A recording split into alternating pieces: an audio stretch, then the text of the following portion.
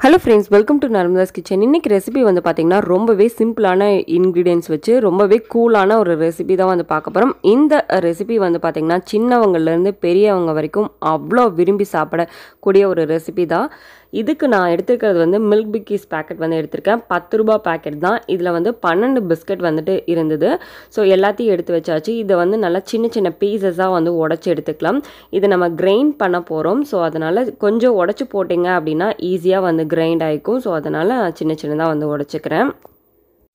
So இந்த recipe பண்ணுறதுக்கு left over biscuit இருந்தாலும் எடுத்துக்கலாம். இல்லை மேரி பிஸ்கட்டு அதுக்கப்புறம் உங்களுக்கு ஏதாவது சாக்லேட் ஃப்ளேவர் பிஸ்கட் அந்த மாதிரி பிடிக்குனாலும் கூட அது கூட எடுத்துக்கலாம். ரெண்டு டேபிள் ஸ்பூன் காஃபி பவுடர் வந்து ஆட் பண்ணிக்கிறேன். அடுத்தது ஏழு டேபிள் ஸ்பூன் வந்து சுகர் வந்து ஆட் பண்ணிக்கிறேன். சுகர் வந்து பார்த்திங்கன்னா உங்களோட விருப்பம் தான் உங்களுக்கு ஸ்வீட் ரொம்ப பிடிக்கும் அப்படின்னா நீங்கள் வந்து ஸ்வீட் இன்னும் கொஞ்சம் ஆட் பண்ணிக்கோங்க. ஸோ இதை ஆட் பண்ணிவிட்டு நல்லா வந்து கிரைண்ட் பண்ணி எடுத்து வச்சுக்கலாம். இப்போ ஒரு பேனில் வந்து பார்த்திங்கன்னா அரை லிட்டர் பால் வந்து எடுத்திருக்கேன். ஸோ இதை வந்து நம்ம காய்ச்சிக்கலாம். ஸோ இந்த மாதிரி பவுடராக வந்து அரைச்சி எடுத்தாச்சு.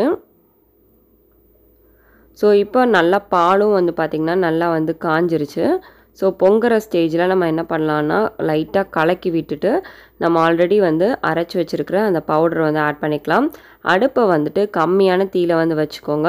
இந்த பவுடர் போட்ட உடனேவே வந்துட்டு கெட்டியாக ஆரம்பிச்சிடும் ஜஸ்ட்டு நமக்கு பால் காய வைக்கிற நேரம் தான் இந்த பவுடர் போட்ட உடனே நமக்கு வந்து அது கெட்டி ஆயிரும் ஸோ கைவிடாமல் கலரிக்கோங்க. சீக்கிரமாக இந்த மிக்சர் வந்துட்டு திக்கன் ஆயிரும் ஸோ அங்கங்கே கெட்டியாக இருந்தாலும் பிரச்சனை கிடையாது. நம்ம மிக்சியில் போட்டு இதை அரைக்க தான் போகிறோம் ஸோ அதனால் கைவிடாமல் மட்டும் கலரிக்கோங்க அடிப்பிடிக்காமல் ஸோ அந்த ஓரங்கள்லாம் எடுத்து எடுத்து விட்டு நல்லா வந்து கலரி விட்டாச்சு. ஸோ நல்லா திக்காக இந்த மாதிரி ஆயிருக்கு பாருங்கள் ஸோ இது ஆறுனா வந்துட்டு எகெயின் வந்து திக்காயிரும். இப்போ கேஸ் ஆஃப் பண்ணிவிட்டு ஆற வச்சுட்டேன். கம்ப்ளீட்டாக கூல் டவுன் ஆயிடுச்சு.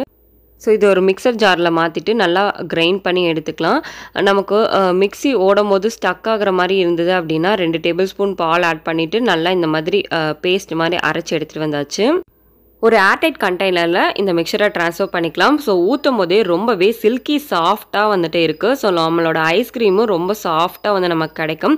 நாலு மணி நேரம் ஃப்ரீசரில் வச்சிடலாம் இந்த இதை. ஸோ நாலு மணி நேரம் கழித்து நமக்கு இந்த மாதிரி செட் ஆகி வந்திருக்கு. மேலெல்லாம் கொஞ்சம் கொஞ்சம் ஐஸ் கிறிஸ்டல்ஸாக இருக்குது ஸோ நம்ம அப்படியே வந்து சாப்பிட முடியாது. எகெயின் வந்து பார்த்திங்கன்னா நம்ம வந்து அரைக்க போகிறோம் ஸோ இந்த மாதிரி நீங்கள் பண்ணீங்க அப்படின்னா நம்ம கடையில் வாங்கி சாப்பிட்ற மாதிரியான ஐஸ்கிரீம் வந்து நம்ம வீட்லேயே வந்து ரொம்ப சுலபமாக வந்து பண்ணிடலாம்.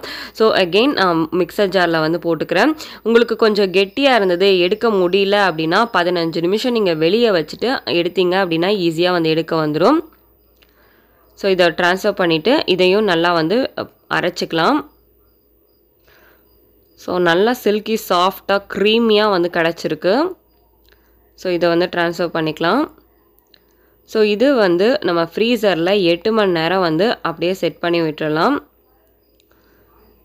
ஸோ எட்டு மணி நேரம் கழித்து நமக்கு ஐஸ்கிரீம் எப்படி இருக்குது அப்படின்னு பார்ப்போம். நல்லா செட் ஆகி க்ரீமியாக வந்து ரெடி ஆயிடுச்சு ஸோ ஏதாவது குழி குரண்டி எடுத்துக்கோங்க. தண்ணியில் வந்து லைட்டாக டிப் பண்ணிவிட்டு எடுத்தீங்க அப்படின்னா ஈஸியாக வந்து எடுக்க வரும். நம்ம உடனே வந்து எடுக்க முடியாது. ஒரு பதினஞ்சு நிமிஷம் வந்துட்டு நீங்கள் வெளியே வச்சுட்டு அதுக்கப்புறம் எடுத்தீங்க அப்படின்னா ஈஸியாக வந்து எடுக்க வரும்.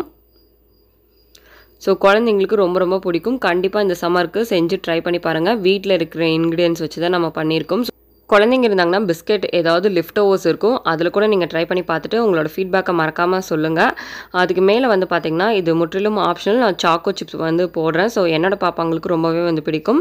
ஸோ இந்த மாதிரி நம்ம இன்னோவேட்டிவாக டெக்கரேட் பண்ணி நம்மளோட குழந்தைங்களுக்கு கொடுக்கலாம். ஸோ இந்த வீடியோ பிடிச்சினா லைக் பண்ணுங்கள் ஷேர் பண்ணுங்கள் சப்ஸ்கிரைப் பண்ணுங்கள் தேங்க்யூ ஃபார் வாட்சிங் பாய்